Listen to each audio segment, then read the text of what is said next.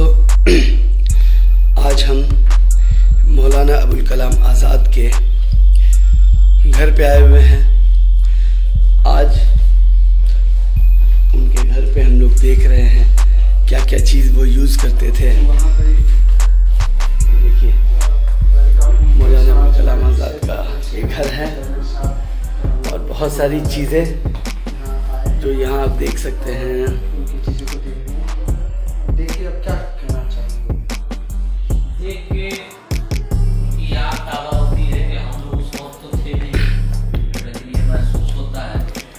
हिंदुस्तान के एक अजीम नेता। हिंदुस्तान में शायद फिर कोई ऐसा नेता पैदा हो। ये उनका घर है। हम आज उनके घर पे है। ये देखिए, मौलाना अबुल कलाम आज़ाद, ये वो घर है जहाँ देश और दुनिया के बड़े बड़े नेता आते थे।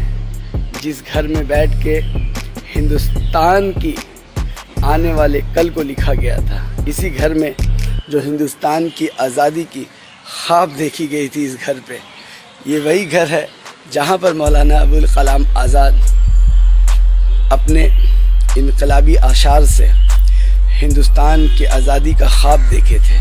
और ना जाने इस घर पे कितने सारे नेता, कितने मंत्री आए गए। और ये वो घर है, और हिंदुस्तान के वो अजीम एजुकेशन लीडर। एक ऐसा नेता जिसके बारे में जितना कहूँ कम है। ये देखिए, बहुत सारी तस्वीरें हैं ऐसी। मौलाना अबुल कलाम आज़ाद है, नेहरू जी है, और ये मौलाना आज़ाद का ये कॉन्फ्रेंस रूम है।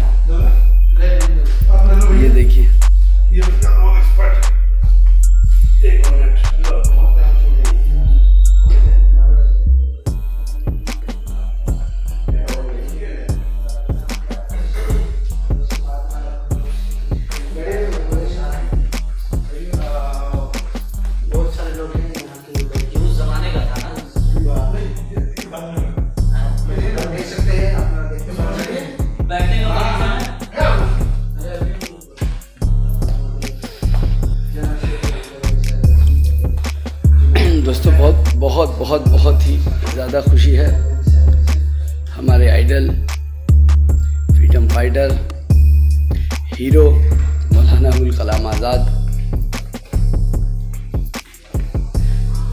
आज उनके योम पे देखिए बहुत सारी ऐसी ऐसी फ़ोटो देखने को मिलेगी जो हम लोगों ने आ, देखा नहीं है बहुत ऐसी चीज़ें। ये देखिए उन, उनका घर है उनकी सीढ़ियाँ हैं।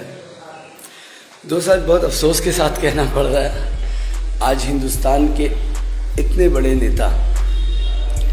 आज उनके योम पैदाइश में हम जो सम्मान इन्हें मिलना चाहिए था और जितना उत्साह उल्लास और हिंदुस्तान के चाहे वो कोई भी कौम के लोग हों समीर साहब मैं एक बात जोड़ना चाहूँगा कोई भी कौम के लोग हैं चाहे वो हिंदू मुस्लिम सिख ईसाई मौलाना अबुल कलाम आज़ाद पूरे देश के नेता थे और हर एक वर्ग के नेता थे। पर आज उनके योम पैदाइश के दिन में जो उत्साह जो उल्लास होना चाहिए इस फ्रीडम फाइटर केस में वो चीज़ नहीं दिखता है। और मैं चाहूँगा मेरे वीडियो के माध्यम से जो जो लोग मुझे सुन रहे हैं तो मैं चाहूँगा मौलाना अबुल कलाम आज़ाद की शख्सियत को आप पढ़िए, जानिए और जानने के बाद दूसरों तक ज़रूर पहुँचाइए। शमीम साहब, आप कुछ कह रहे थे, मैं जी, मैं ये कह रहा था कि देखिए, इतने बड़े जंग आज़ादी के मुजाहिद और आज़ाद भारत के पहले वज़ीर तालीम और मुसलमान पहले कांग्रेस पार्टी के पहले मुसलमान सदर जो आज़ादी के वक्त कुछ दिन पहले इन्होंने रिज़ाइन खुद से दिया था। आज उनके घरों के हाल देखिए कि क्या है क्योंकि ये मरकज़ी हुकूमत के ज़र निगरानी आती है ये। तो मैं आपके फेसबुक के माध्यम से ये गुजारिश करूँगा और मैं कोशिश करूँगा ज़रूर कि इनका मरम्मत इस इमारत उनके घर की ये अ, इनका ये घर है, इसकी मरम्मत हो ताकि आने वाले नस्ल इसको याद रखे और हमें यहाँ आकर बहुत खुशी महसूस हो रहा है कि इतनी बड़ी अजीम शख्सियत के घर पर जहाँ वो रहा करते थे, न जाने कितनी रातें गुजारी उन्होंने। आज यहाँ आए हैं। शुक्रिया। दोस्तों, मरकज़ी हुकूमत से ये गुजारिश है कि बहुत सारा बिल्डिंग का हालत बहुत खस्ता हो गया है। तो क्योंकि ये सेंट्रल गवर्नमेंट के अंडर में है और इसकी देख रेख की पूरी ज़िम्मेदारी हिंदुस्तान सरकार के हाथ में है तो मैं इस फेसबुक माध्यम से अभी मौजूदा जो सरकार है, मैं उनसे कहूँगा कि इस बिल्डिंग को थोड़ा सा रिपेयर कर दे। ना कलर एकदम बहुत खस्ता हालत है तो मैं उम्मीद करूँगा कि मेरी आवाज़ जहाँ जहाँ तक जा रही है जिन जिन लोगों तक जा रही है, इसको शेयर कर दें।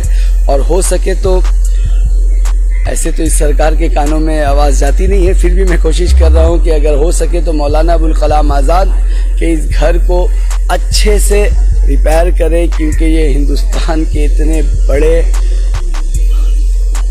मुजाहिद है, आज़ादी के इतने बड़े फ्रीडम फाइटर है। इनके लिए कम से कम इनके घर को अच्छे से मरम्मत, इनकी कलर हो, अच्छे से रहे। और दोस्तों, मैं आप सबों से गुजारिश करूँगा कि आप भी ज़रूर आए। मौलाना अबुल कलाम आज़ाद के घर पर आए, उनके घर को देखे। बहुत सारी चीज़ें यहाँ देखने के लिए है, सीखने के लिए है। हम बहुत सारी चीज़ों से सीख सकते हैं, समझ सकते हैं, उनके क़ुरबानियों को जान सकते हैं।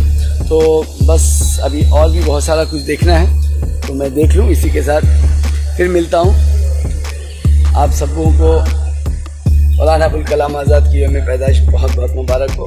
उनके लिए दुआ कीजिए और फिर से कोई हिंदुस्तान में ऐसा एक अजीम नेता पैदा हो, जो कौम व मिलत देश के लिए एक मिसाल हो मौलाना अबुल कलाम आज़ाद की तरह। हम लोग कोशिश करें कि ऐसा एक सेकुलर लीडर फिर आए इस देश में।